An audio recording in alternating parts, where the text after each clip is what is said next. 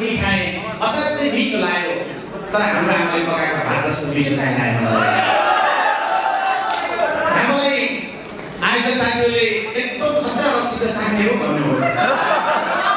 यहाँ रक्सीहरू पनि पाइँदो रहेछ ब्रान्डेड ब्रान्डेड रक्सीहरू पनि तर लाइसेन्स चाहिँदो रहेछ लाइसेन्स भयो भने खतरा खतरा रक्सी पाइँदो रहेछ तर हाम्रो गाउँमा माइली खसरी मारेको जस्तो लोकल लोकल पाइँदो रहेछ यहाँ खतरा खतरा अचारहरू पनि पाइँदो रहेछ तर मुला बारीबाट भर्खर उखालेर ल्याएको तात तातो मुलाको अचार त पाइँदो रहेछ यहाँ यहाँ सबै कुरा पाइँदो रहेछ तर छोरा मान्छे भनेर रुनु हुँदै भन्ने भाउ नपाइँदो रहेछ यहाँ सबै कुरा पाइँदो रहेछ दिनभरि गाउँ गएर आएर पनि माया गरेर गाली गर्दै भात खान दिने आमा नपाइँदो रहेछ यहाँ सबै थोक पाइँदो रहेछ तपाईँले कोही कोहीले त लिएर आउनुभएको छ होला तर छोरा गरे पनि कोठामा गएर यता फर्केर सिक्नु दिन पाइँदो रहेछ सबै थोक पाइँदो रहेछ? तर हाम्रो देश नपाइँदो रहेछ। त्यही भएर मैले एउटा गीत लेखेको थिएँ गाएको थिएँ। ठुला ठुला समुद्र छन् खोली भेटिँदैन। मुलको पानी खाए जस्तो तिर्खा भेटिँदैन। यस्तै छ कहानी परदेशीको किन्न त पाइन्छ पानी फ्रिजको अनि हावा एसीको तर तिर्सन भेट्दैन। गाउँ तिमीलाई यो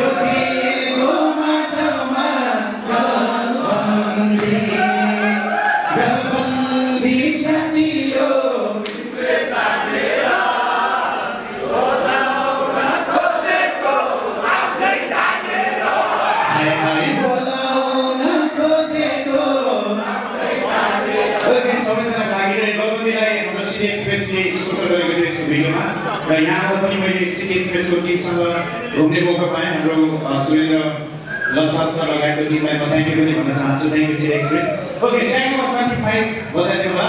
तपाईँ सबैजनाको लागि अतिथिज्यूहरू पनि हाम्रो आरके सर लगायत टिमलाई देखिरहेको छ। सबैजना अतिथिज्यूहरू पनि नाचेर साथ होला। सबैजना यहाँ अगाडि आउँदा हाम्रो सुमनजी धेरैजना टिम चिनेको साथीहरू पनि हुनुहुन्छ कोही बागलुङीहरू गाउँले पनि कोही हुनुहुन्छ भने ल है हामीलाई सम्झाइ नभन्नु होला सबैजनाले okay number twenty five goal